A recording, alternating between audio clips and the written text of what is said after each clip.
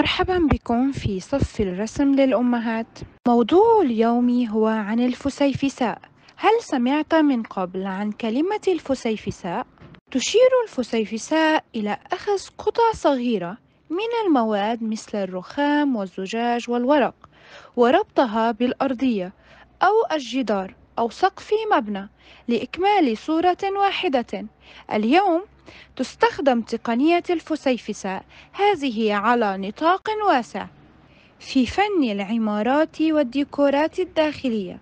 وغير ذلك سأريكم الآن بعض الصور لكيفية استخدام الفسيفساء بالفعل. هذا عمل الفسيفساء من الطراز البيزنطي. أستخدم في العصور الوسطى. تعرف الفترة التي تبلغ حوالي ألف عام من حوالي 476 إلى 1453 بأنها العصور الوسطى. قد لا يكون لديك دليل ذلك منذ متى كان ذلك؟ ببساطة يمكنك التفكير في الأمر على أنه منذ حوالي 1500 عام. من الآن أعتقد أنه من المدهش جدا أن يكون هذا الفن الجميل قد تم تطويره بالفعل في أوروبا في ذلك الوقت. إذا نظرت عن كسب إلى الصورتين يمكنك أن ترى أن المربعات ذات الحجم نفسه تقريبا ومرتبة بانتظام. أليس كذلك؟ هذه تسمى الفسيفساء. هذه هي آيا صوفيا كاتدرائية في إسطنبول بتركيا. تم بناؤها كاتدرائية أرثوذكسية شرقية خلال فترة الإمبراطورية الرومانية الشرقية ولكن الآن معظم الفنانون والفنون الجميلة داخل الكدرائية مغطاة بالخيام البيضاء لأنه يستخدم الآن كمسجد إسلامي. أحضرت قطعتين فنيتين داخل كاتدرائية آيا صوفيا. في كلا الصورتين الشخص الذي في المنتصف هو يسوع. تظهر الصورة أدناه بعض الجس المتبقي الذي لم يتم ترميمه بعد. عندما تم استخدام الكاتدرائية كمسجد مريم العذراء على اليسار ويوحنا المعمدان على اليمين. من المؤسف أننا لا نستطيع رؤيته عن قرب. لكن إذا نظرت عن كسب فهما من الفسيفساء. ليس فقط هذين ولكن داخل الكاتدرائية يمكنك رؤية الكثير من فن الفسيفساء. هذه هي كاتدرائية سان فيتالي في إيطاليا. تم بناء هذه الكاتدرائية أيضا في العصور الوسطى وهي أيضا أحد مواقع التراث العالمي لليونسكو. الصورة أدناه عبارة عن قطعة فنية داخل الكاتدرائية وهي أيضا فسيفساء. إذا نظرت عن كسب يمكنك رؤية القطع الصغيرة ولكن إذا نظرت إليها من مسافة كهذه لا يمكن رؤية القطع الفردية الصغيرة على الإطلاق ولكن كصورة واحدة وكاملة هذه هي سمة من سمات الفسيفساء. توضح هذه عملية إنشاء الفسيفساء. يمكنك أن ترى أن اليد تربط مربعات صغيرة أليس كذلك؟ سيكون من الأسهل والأسرع إكماله إذا رسم الصورة فقط ولكن لماذا يستغرق وقتا طويلا للقيام بعمل الشاق والطويل؟ لا يمكنني إعطاء إجابة دقيقة لكنني أعتقد أن الفن هو عملية تفكير إبداعي باستمرار والتعبير عنه بشكل خلاق وإبداعي يمكنك أيضا أن تفكر بأن العديد من الفنانين باستمرار يبحثون عن أشياء جديدة ويدرسون تقنيات التعبير الجديدة. هكذا نتعرف على الفسيفساء اليوم من خلال مجموعة متنوعة من التقنيات الفنية. هناك تقنيات فنية يمكن إكمالها بسهولة وسرعة ولكن هناك أيضا تقنيات فنية يتم إكمالها بعناية شديدة على الرغم من أنها تستغرق وقتا طويل. هذا العمل الفني عبارة عن فسيفساء أيضا. ولكن ما هي المواد المستخدمة في رأيك؟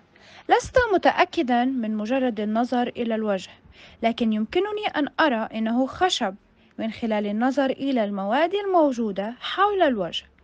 صنع شخص ما وجها بشريا عن طريق قطع كبيرة من الخشب إلى قطع صغيرة ثم ربطها معا. أنا متأكدة من أن ذلك لم يكن سهلا لكنه يبدو مذهلا في النهاية. إذا نظرت إلى هذه القطعة هي أيضا عمل فني مذهل. تم إنشاؤه عن طريق قص ولصق قطع من الخشب لإكمال وجه الشخص وخلفيته رائعة. إذا نظرت عن كسب إلى الوجه يمكنك أن ترى أن الجلد لم يتم التعبير عنه بلون واحد ولكن بألوان مختلفة من الخشب. لذلك من بعيد يبدو الأمر أشبه بضوء ساطع على الجانب الأيسر من الوجه والظلال على الجانب الأيمن ماذا عن هذا؟ ألم ترى مثل هذه الفسيفساء المصنوعة من قطع صغيرة على الأرض؟ أو على الجدران أثناء سيرك في الشارع لا أعرف بالضبط أين التقطت هذه الصورة لكنها تبدو كأنها صورة لجدار أو أرض يوجد قلب في المنتصف وترتبط الخطوط المتعرجة حوله لإكمال النمط كيف تبدو صورة الفسيفساء هذه؟ لا يمكننا رؤية التفاصيل القريبة لكن يمكننا تحديد نوع المشهد أليس كذلك؟ على اليمين نرى طيورا جالسة على أغصان وعلى اليسار طيور تطير بحرية هناك أيضا ضوء شمس يتم التعبير عنه في المنتصف.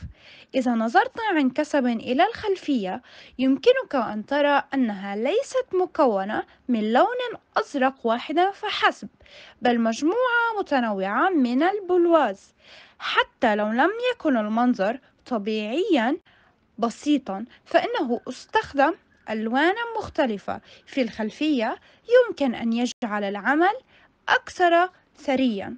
حتى الآن رأينا ماذا يعني فسيفساء وما هي أنواع الفسيفساء الموجودة. من الآن فصاعدا سأعرض لك صورا تعبر عن موضوعات مختلفة من خلال استخدام تقنية الفسيفساء هاتان الصورتان تعبران عن الزهور. قد تبدو الصورة الموجودة على اليسار مظلمة قليلا لأنها معبر عنها بخلفية سوداء لكنها تجعل الأزهار في المنتصف بارزة جدا. في الصورة الصحيحة تم التعبير عن زهرة عبادة الشمس كبيرة واحدة فقط لكنها عبرت عن ألوان مختلفة بحيث لا يكون لون زهرة عباد الشمس والخلفية رتيبية أي غير ظاهرة جدا. الصورة على اليسار تمثل الكواكب والمركبة الفضائية بخلفية الفضاء والصورة على اليمين تمثل فتاة تبتسم بشكل مشرق مع خلفية يوم مشمس.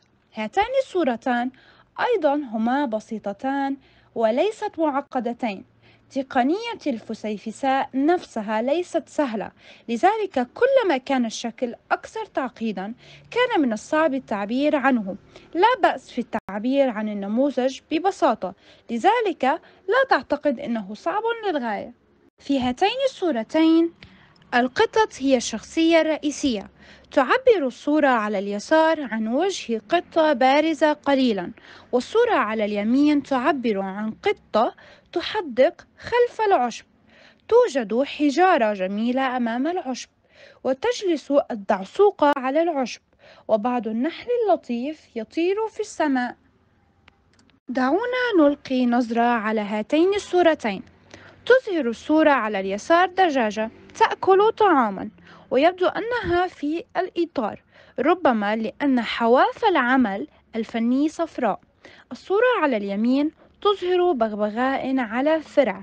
يتم التعبير عن أوراق الموجودة في الخلفية بشكل غني ويتم التعبير عن ريش البغبغاء بشكل جميل بألوان ملونة. هاتان الصورتان تمثلان منظرا رائعا. للمحيط كلاهما يصور المحيط لكن الذي على اليسار يشعر بأنه أكثر نعومة بشكل عام والجانب الأيمن يشعر بأنه أقوى. ألا تعتقد ذلك؟ إنه بسبب اختلاف اللون. تستخدم الصورة الموجودة على اليسار ألوانا أفتح. بشكل أساسي من اللون الداكن وتستخدم الصورة الموجودة على اليمين بشكل أساسي ألوانا زاهية ذات تشبع عال. كلاهما يعجبني.